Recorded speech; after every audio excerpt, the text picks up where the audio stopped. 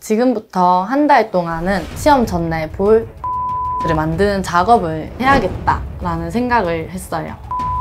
풀지 않았어요. 이때 틀리면 정말 마음이 불안하거든요. 안녕하세요. 2020년 1차 경찰 시험에 합격한 박유진입니다. 제가 경찰행정 특채를 준비한 것까지 포함을 하면 2년 2개월 정도이고 일반 순경을 준비한 거는 1년 정도입니다. 제 점수는 한국사는 80점, 영어는 65점, 형법은 80점, 형사소송법 85점, 경찰학 65점이었어요.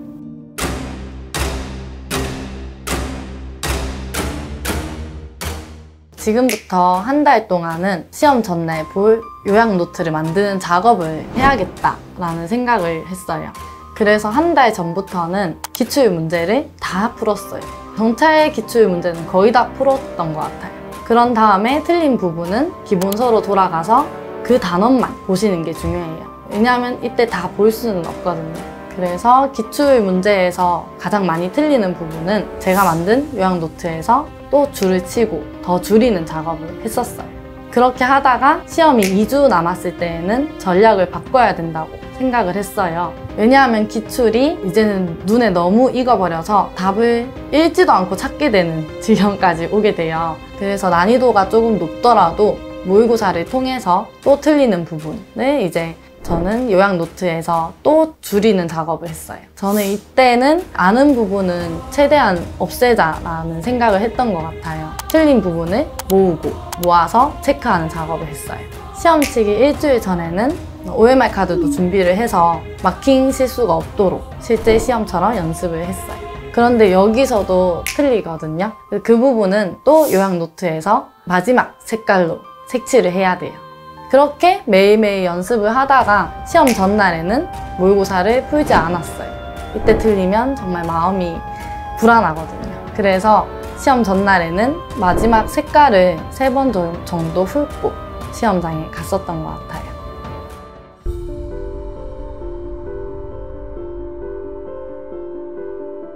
저는 한국사를 고등학교 1학년 때만 공부를 했었기 때문에 정말 기초가 없었어요. 처음에 인터넷 강의를 먼저 한번 보고 소위 말하는 전한길 선생님의 필기노트를 봤었는데 보면서도 이해를 하지 않고 그냥 암기식으로만 했더니 점수가 전혀 오르지 않았어요. 그래서 0823에 계시는 교수님과 상담을 통해서 기본서를 조금 더 해독을 해보자 하셔서 두 달 동안 그냥 2.0이라는 그 기본서를 이해독을 하고 그 다음에 필기노트를 넘어갔더니 이제 성적이 조금씩 오르기 시작했어요. 문화사 특강도 인터넷 강의에 올라오거든요. 그래서 여러 번 듣고 문화사는 또 거의 다 암기를 위주로 해야 되는 과목이라서 한 일주일 전부터는 문화사만 보고 이랬던 것 같아요.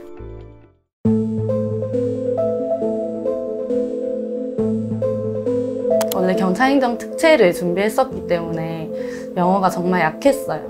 실질적으로 영어는 1년 2개월 정도 했어요. 2개월, 3개월 정도는 혼자서 해보려고 1타 선생님의 강의를 또 들었었는데 이게 저한테 맞춘 게 아니고 그냥 일반적인 강의다 보니까 전혀 저한테 도움이 안 됐어요. 처음에 막막함을 느꼈고 어떻게 공부를 할까 하다가 private class를 등록했고 19년 1월부터 6월까지 다녔죠. 그러면 한 6개월 정도 한 것 같아요. 4개월 정도는 기초만 계속 다졌던 것 같아요. 저는 또 독해가 좀 힘들었어요. 그래서 선생님한테 어떻게 하면 독해를 더 깔끔하게 할 수 있을까요? 하고 많이 여쭤보았고 선생님이 제가 약한 부분이 어딘지 아시니까 방안을 마련해 주셨죠. 구문 위주로 한 문장 한 문장 끊어 읽기를 정말 많이 연습했어요. 그러다 보니까 제가 원하는 부분에서 점수를 많이 얻게 되었고 여기서 점심시간마다 영어 단어 시험지를 주고 또 그거를 옆에 사람이랑 바꿔서 매기면서 약간의 부끄러움도 느끼고 아 내일은 더 잘 쳐야지 하면서 공부를 하게 됐던 것 같아요. 그러다 보니까 성적이 처음에는 40점, 50점대가 계속 유지가 됐어요. 그것 때문에 힘이 들었지만 그래도 선생님이 믿고 끝까지 해봐라 하셔서 5개월, 6개월부터 이제 성적이 오르기 시작하는 걸 좀 느꼈죠. 이번 시험이 어려웠는데 다행히 65점이라는 점수를 얻은 것 같아요.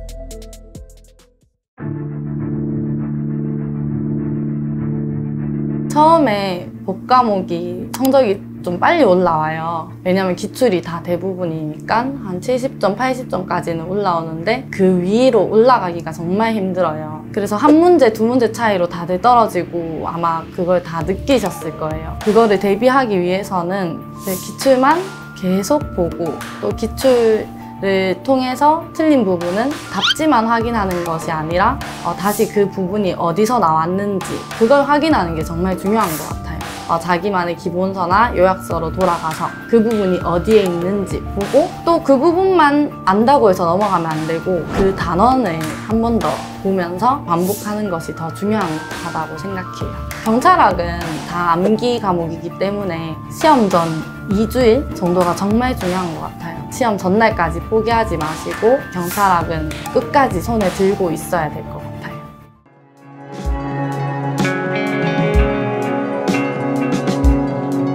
혼자서 공부를 하는 것이 정말 좋지만 시간 관리가 힘드신 분들은 0823 클래스를 통해서 공부를 하는 것이 정말 좋은 것 같아요. 0823 클래스는 시간도 관리를 해주고 공부만 할 수 있게 그런 환경을 조성해 주기 때문에 공부 시간을 확보할 수 있었던 것 같아요. 저는 순공 시간은 한 10시간, 10시간 30분 이렇게 확보를 했는데 거기서 정말 집중했던 시간을 퍼센트로 하자면 80%, 90%는 됐던 것 같아요. 일요일은 신청자를 받아서 나오고 싶은 사람만 나오게 하고 있어요. 일요일 날 신청을 하면 저희가 한 달에 3주를 무조건 나와야 해요. 일괄 신청이라서 신청을 해놓고 또 안 나오면 결점을 받기 때문에 신청을 할까 말까 고민을 많이 하는 사람이 있어요. 근데 신청자 수 이렇게 눈으로 볼 수가 있는데 생각보다 많아요. 그 신청자 이름을 보면서 저분들은 일요일에도 다 열심히 하는데 아, 나도 해야겠다 이런 생각을 좀 했죠.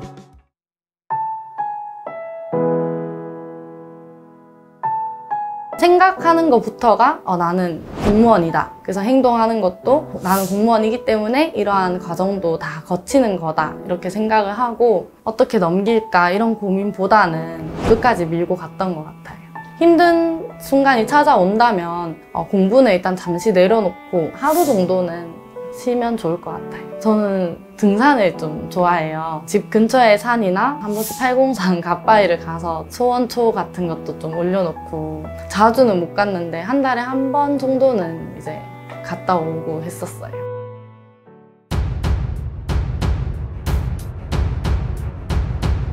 체력은 제 6의 과목이라고 다들 말을 해요. 저도 이번에 하면서 많이 느꼈는데 이게 공부를 하는 사람들은 아직까지는 느끼지 못해요. 공부가 먼저지. 필기만 합격하면 뭐든 하겠지. 이 생각으로 이제 운동을 병행하는 사람들이 많지는 않았어요. 저도 솔직히 운동 시간을 따로 빼서 헬스 클럽을 다녔었는데 그렇게 하면서 왔다 갔다 이동 시간, 운동을 하고 씻는 시간 이런 걸 다 생각하면 하루에 한 두시간이 빠지니까 이게 공부에 좀 큰 타격이 왔었어요. 아 이렇게는 안 되겠다 해서 체력 종목이 다섯 개니까 그중에 실내 종목 세개만이라도 해놓자 이 생각으로 저희가 15분이 쉬는 시간이 있잖아요. 그러면 요가 매트를 들고 저는 밑에 계단에 내려가서 사람이 별로 없는 공간에서 요가 매트를 피고 어, 윗몸 일으키기랑 팔굽혀 펴기 이거 두 개는 80개씩. 0823 클래스 쉬는 시간에? 네 그래서 처음에 체력학원을 갔을 때 점수가 그래도 괜찮았었어요. 9점 정도는 받았던 것 같은데 거기서 이제 만점 올리기가 정말 쉽지 않았어요. 욕심을 내다 보니까 오히려 부상으로 이어지고 그거를 정말 조심해야 될 것 같아요. 자기가 할 수 있는 만큼만 하되 음, 너무 욕심은 내지 말자. 이게 조, 중요한 것 같아요.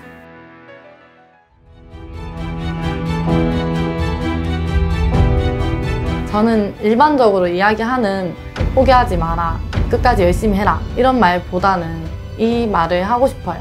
이 영상을 보고 있는 수험생분들은 지금부터 자신이 공무원이라고 생각하고 사셨으면 좋겠어요. 그게 가장 좋은 마인드셋인 것 같아요. 화이팅입니다!